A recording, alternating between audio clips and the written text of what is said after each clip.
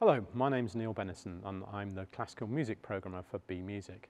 I just wanted to tell you about a very exciting first visit by the orchestra that everyone's talking about, the Sinfonia of London. So what's all the fuss about? Well, this orchestra has actually only existed in its current form for about four years, when John Wilson recreated a very famous recording orchestra from the 1950s. John's vision was to create a kind of super orchestra made up of leading UK and international players, principals from great orchestras that could come together and make recordings that would be as close to perfection as you could get. And you have to say that the result has been absolutely spectacular. These recordings have been getting wall-to-wall five-star reviews, uh, praise across the board, and they've become absolutely essential recordings in the kind of classical catalogue.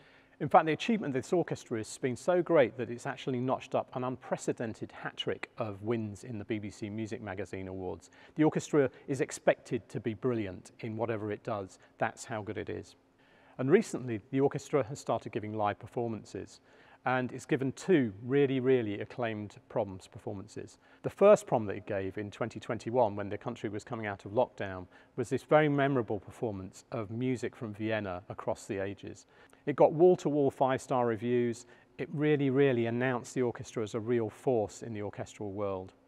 So this autumn, the Sinfonia of London is making its first UK tour. It's only going to four venues outside London and Symphony Hall is one of them. And they put together a program that absolutely showcases what this orchestra is about. It's all about virtuosity, colour, brilliance of execution, and it features really, really popular pieces in it. So we've got Debussy's La Mer, we have Ravel's Bolero, and we have Gershwin's Rhapsody in Blue. And this is going to be performed by Martin James Bartlett, who was the BBC Young Musician winner in 2014. If you were in search of the hottest ticket this autumn, then this one is it. No ifs, no buts, this is the concert you should come and see.